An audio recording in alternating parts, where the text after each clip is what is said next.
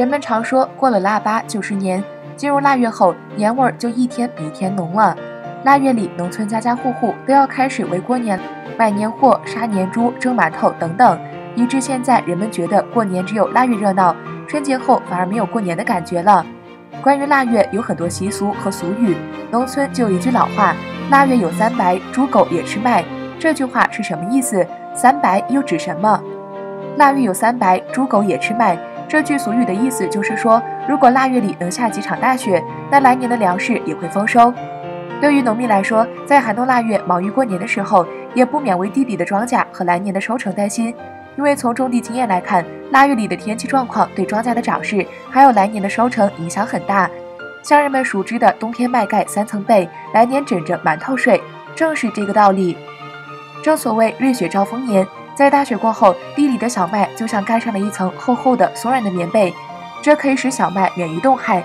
等到积雪融化的时候，就会从土壤中吸收很多热量，这会使隐藏在土壤中的害虫冻死。来年的时候，病虫害就少一点儿，而且融化的雪水也可以滋润土地，这对第二年的春耕和庄稼的生长都有不少好处。所以人们才说腊月下雪，粮食会丰收。以前的时候，农村的生活条件不好，对于农民来说，能吃上白面馒头就是让别人羡慕的事情。一年的粮食收成更是家里人的口粮和经济来源。农民会留一些小麦磨面，以供自己家吃，而磨面时的麦麸就会留给猪做饲料，营养经济。狗在家里多是吃一些残渣剩饭，若是农民获得了丰收，那家犬也能跟着有好东西吃。这也正是为什么人们说腊月有三白，猪狗也吃麦。农业技术没有那么发达的时候，看天吃饭是一种常态。